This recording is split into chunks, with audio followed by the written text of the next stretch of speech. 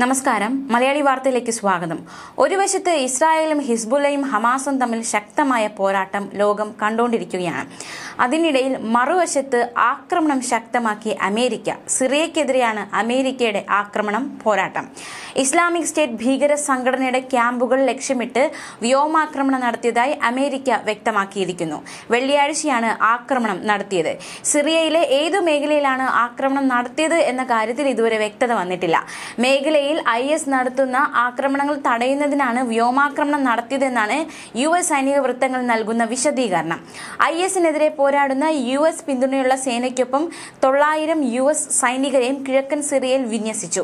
ഇറാഖിലും സിറിയയിലും I S sleeper സെല്ലുകളുടെ ആക്രമണം വർദ്ധിക്കുകയാണ്.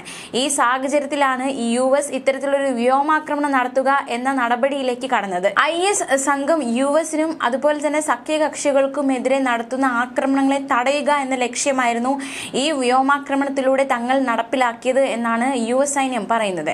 അതേസമയം ലബനൻ സിറിയ അതിർത്തിയിലേക്ക് ഇസ്രായേലും ആക്രമണം വ്യാപിപ്പിച്ചിരുന്നു. കമാൻഡർമാരടക്കം ഇരുന്നൂറ്റി അൻപത് ഹിസ്ബുൽ അംഗങ്ങളെ കൊലപ്പെടുത്തി.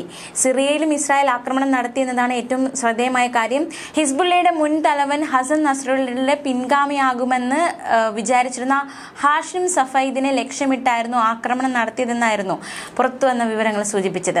തെക്കൻ ലെബനാനിലെ ഇരുപത്തിയഞ്ച് ഗ്രാമങ്ങളിലെ ജനങ്ങളോട് ഒഴിഞ്ഞു പോകാൻ ഇസ്രായേൽ സൈന്യം ആദ്യം നിർദ്ദേശിച്ചു. ഇതിനു പിന്നാലെ ആക്രമണം നടത്തുകയായിരുന്നു. സിറിയൻ തലസ്ഥാനമായ ദമാസ്കസിന്റെ പടിഞ്ഞാറ് മെസ്സ പ്രാന്തപ്രദേശത്തുള്ള റെസിഡൻഷ്യൽ കെട്ടിടത്തിന് നേരെയും ഇസ്രായേൽ വ്യോമാക്രമണം നടത്തിയിരുന്നു. ഇസ്രായേലിന്റെ വ്യോമാക്രമണത്തിൽ ഏഴ് സാധാരണക്കാർ കൊല്ലപ്പെടുകയുണ്ടായി. പതിനൊന്ന് പേർക്ക് ഗുരുതരമായി പരിക്കേറ്റു. ഇരുപതോളം കാറുകൾ തകർന്നു. ഇറാൻ റവല്യൂഷണറി ഗാർഡുകൾ ഹിസ്ബുലയുമായുള്ള കൂടിക്കാഴ്ചയ്ക്കായി ഉപയോഗിച്ചിരുന്ന കെട്ടിടത്തെയാണ് ഇസ്രായേൽ ലക്ഷ്യം വെച്ചതെന്ന് മാധ്യമങ്ങൾ റിപ്പോർട്ട് ചെയ്തു. പ്രാഥമിക റിപ്പോർട്ടുകൾ അനുസരിച്ച് കൊല്ലപ്പെട്ട ഏഴ് സാധാരണക്കാരിൽ സ്ത്രീകളും കുട്ടികളും ഉൾപ്പെടെ ഉണ്ടായിരുന്നു. അതേസമയം അവശിഷ്ടങ്ങൾക്കിടയിൽ നിന്ന് ആളുകളെ പുറത്തെടുക്കാൻ സിറിയൻ രക്ഷാസേന പരിശ്രമിക്കുന്നുണ്ട്. ഗോലാൻ കുന്നുകളുടെ ദിശയിൽ നിന്ന് വരുന്ന മൂന്ന് മിസൈലുകൾ ഉപയോഗിച്ചായിരുന്നു വ്യോമാക്രമണം. സിറിയയുടെ വ്യോമ പ്രതിരോധ സേന ദമാസ്കസിന് സമീപമുള്ള ശത്രു ലക്ഷ്യങ്ങളെ തടഞ്ഞുവെന്നാണ് സ്റ്റേറ്റ് മീഡിയ റിപ്പോർട്ട് ചെയ്തിരുന്നത്. പക്ഷേ സിറിയയിലും ലെബനനിലും ഗാസയിലും ഇസ്രായേൽ നടത്തുന്ന മനുഷ്യത്വരഹിതമായ കൂട്ടക്കൊലകൾക്കെതിരെ ലോകമെങ്ങും പ്രതിഷേധങ്ങൾ ഉയരുകയാണ് എന്നതടക്കമുള്ള റിപ്പോർട്ടുകളും പുറത്തു വന്നിരുന്നു അതേസമയം ലെബനോനിലെ രണ്ട് ആശുപത്രികൾ ഉൾപ്പെടെ ഇസ്രായേൽ തകർത്ത് വൻ വ്യോമാക്രമണം. ഗാസയിലെ പോലെ തന്നെ ലെബനോനിലും ഇസ്രായേൽ ആക്രമണം കടുപ്പിച്ചിരിക്കുകയാണ്. ലെബനോനിലെ ആശുപത്രികൾ തകർത്തത് എന്തിന് എന്ന ചോദ്യത്തിന് ഇസ്രായേൽ സൈന്യം നൽകുന്ന വിശദീകരണം ഇപ്രകാരമാണ്. തകർത്ത ആശുപത്രികൾക്കുള്ളിൽ മിസൈലുകളും ആയുധങ്ങളും സൂക്ഷിച്ചിരുന്നു എന്നാണ്. ആശുപത്രി കോമ്പൗണ്ടിൽ നിന്നും ഇസ്രായേലിലേക്ക് ഇവർ മിസൈൽ തൊടുത്തു.